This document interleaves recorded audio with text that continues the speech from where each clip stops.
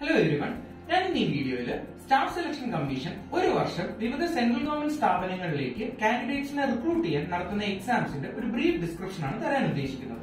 ഏറ്റവും ആദ്യം S S C C G L S S C C G L എന്ന് പറയുമ്പോഴത്തേനും കമ്പൈൻഡ് ഗ്രാജുവേറ്റ് ലെവൽ അതായത് ഡിഗ്രി ക്വാളിഫിക്കേഷൻ ഉള്ള ഏതൊരു കാൻഡിഡേറ്റിനും അപ്ലൈ ചെയ്യാൻ പറ്റുന്ന എക്സാം ആണ് S S C C G L എന്ന് പറയുന്നത്. അടുത്ത രണ്ടാമത്തത് S S C C H S L C H S എന്ന് പറയുമ്പോൾ കമ്പൈൻഡ് ഹയർ സെക്കൻഡറി ലെവൽ ഇത് പ്ലസ് ടു ക്വാളിഫിക്കേഷൻ ഉള്ള ഏതൊരു കാൻഡിഡേറ്റിനും അപ്ലൈ ചെയ്യാൻ പറ്റുന്ന എക്സാം ആണ് S S C C H S എന്ന് പറയുന്നത്. മൂന്നാമത്തത് S S C M T S M T S എന്ന് പറയുമ്പോഴത്തേനും മൾട്ടി ടാസ്കിംഗ് സ്റ്റാഫ് ഇത് ടെൻത്ത് സ്റ്റാൻഡേർഡ് ക്വാളിഫിക്കേഷൻ ഉള്ള ഏതൊരു കാൻഡിഡേറ്റിനും അപ്ലൈ ചെയ്യാൻ പറ്റുന്ന എക്സാം ആണ് S S C M T S എന്ന് പറയുന്നത്.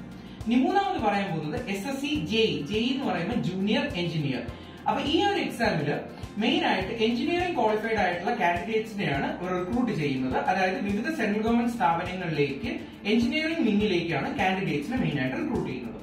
അടുത്തത് S S C C P U C P U എന്ന് ഇത് മെയിൻ ആയിട്ട് സെൻട്രൽ ആംഡ് പോലീസ് ഫോഴ്സ് അതുപോലെ തന്നെ ഡൽഹി പോലീസിലത്തേക്ക് സബ് ഇൻസ്പെക്ടർ ആണ് റിക്രൂട്ട്മെന്റിന് വേണ്ടിയിട്ടാണ് ഈ ഒരു എക്സാം കണ്ടക്ട് ചെയ്യുന്നത്. ഇതിന്റെ മിനിമം ക്വാളിഫിക്കേഷൻ എന്ന് പറയുന്ന ഗ്രാജുവേറ്റ് ലെവൽ തന്നെയാണ്. ഇനി അടുത്തതാണ് S S C G D constable S S C G D constable എന്ന് പറയുമ്പോൾ സെൻട്രൽ ആൻഡ് പോലീസ് ഫോഴ്സിലേക്ക് കോൺസ്റ്റബിൾ ആയിട്ട് റിക്രൂട്ട്മെന്റ് നടത്താൻ വേണ്ടിയിട്ടാണ് ഈ ഒരു എക്സാം കണ്ടക്ട് ചെയ്യുന്നത്. ഇതിന്റെ മിനിമം ക്വാളിഫിക്കേഷൻ എന്ന് പറയുന്നത് ടെൻത്ത് സ്റ്റാൻഡേർഡ് ആണ്.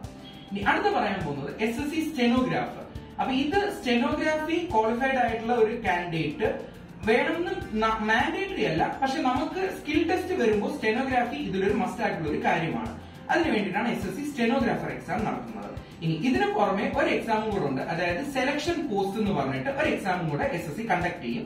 അത് വിവിധ ക്വാളിഫിക്കേഷൻ ഉള്ള ആൾക്കാർക്ക് അപ്ലൈ ചെയ്യാൻ പറ്റുന്നതാണ്. അതിൽ തന്നെ വീണ്ടും graduate level higher secondary level and matriculation level അങ്ങനെ മൂന്ന് ലെവലായിട്ട് വീണ്ടും മൂന്ന് division classification S S C selection പോസ്റ്റിലും വരാറുണ്ട്. അപ്പൊ ഇത്രയും എക്സാംസ് ആണ് ഒരു വർഷം സ്റ്റാഫ് സെലക്ഷൻ കമ്മീഷൻ നമുക്ക് വേണ്ടി കണ്ടക്ട് ചെയ്യുന്നത്.